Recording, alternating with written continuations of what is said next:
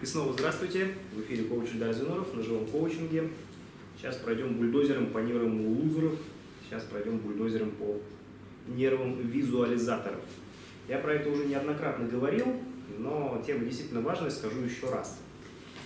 А, наверняка люди, смотревшие фильм «Секрет», неплохое, в общем-то, художественное, подчеркиваю, художественное произведение, уяснили, что для достижения желаемого надо дрочить на доску мечты и визуализировать.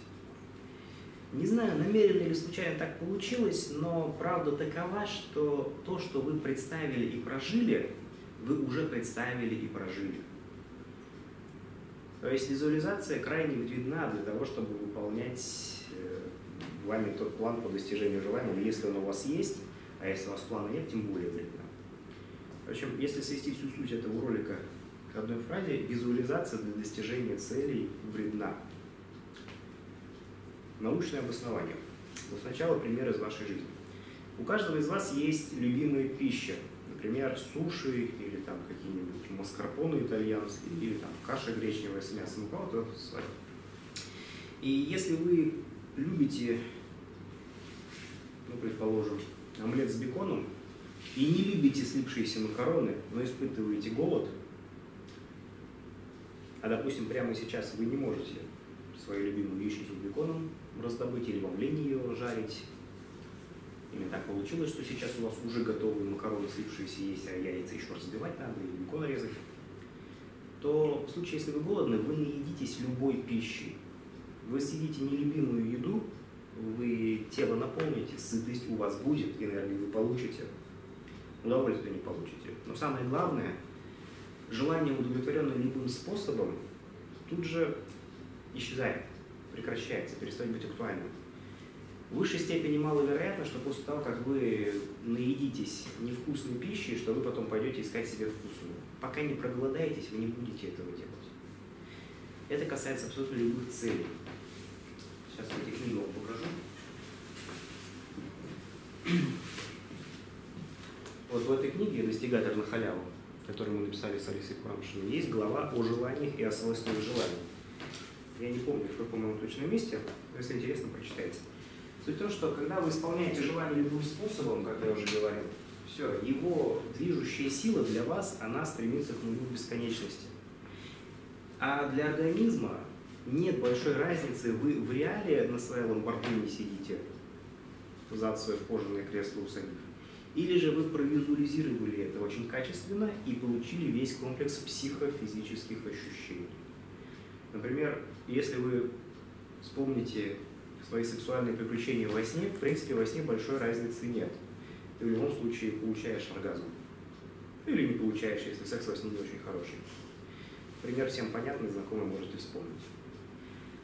Если вы визуализируете обладание каким-то материальным благом, достижение какого-то благополучия, чем качественнее вы визуализируете это, тем больший комплекс психофизических ощущений вы получаете, как во сне, и тем меньше становится потенциал для исполнения этого желания.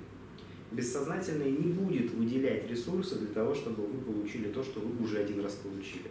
Для него нет разницы, получили вы это в реале, и ваши зрение, слух и осязание – были раздражены реальным обладанием, ну, той же машины, дачи, не знаю, там, обложки журнала с вашим лицом, или же вы это представили. Чем качественнее вы визуализируете, тем меньше ваши шансы, что вы будете что-то предпринимать для того, чтобы получить желаемое. В силу того, что уже съеденная пища уже не привлекает, все, вы уже сыты. Поэтому, если кто-то благодаря визуализации что-то достигает, это скорее не благодаря, а вопреки, несмотря на исключение, нежели правило. Но с визуализацией есть один важный трюк, который можно делать, чтобы визуализировать безопасно. Если уж вы ярый фанат визуализации очень хорошо надрочились в этом навыке, бросать которые вам жалко, окей, хорошо, я вам расскажу, как визуализировать с пользой.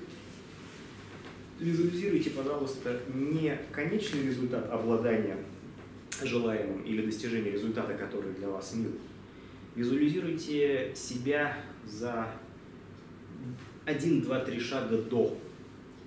Не тогда, когда вы уже конечный результат имеете, а когда вот у вас еще один-два шага осталось. Протяни руку и возьми.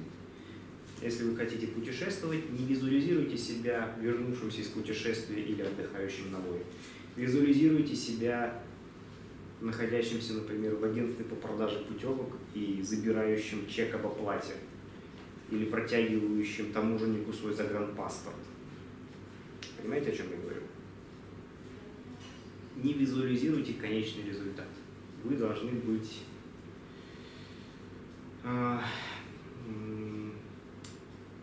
по-другому сразу поступаю. Если синдром, не синдром, это эффект надкусанного бутерброда должен быть. Когда вы его надкусили, и вам хочется съесть его целиком. А не тогда, когда вы его сожрали, и в принципе за вторым уже не пойдете.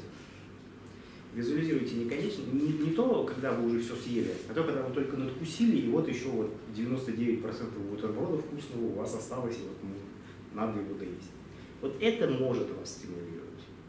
Если же вы визуализируете конечный результат, это вам не в пользу, а во вред. Привет всем любителям фильма «Секрет». Неплохого художественного произведения. А, с вами был коуч Ильдар Зинуров. Пишите, звоните, кидайте на счет. Подписывайтесь, ставьте лайк, ну и так далее. Пока-пока.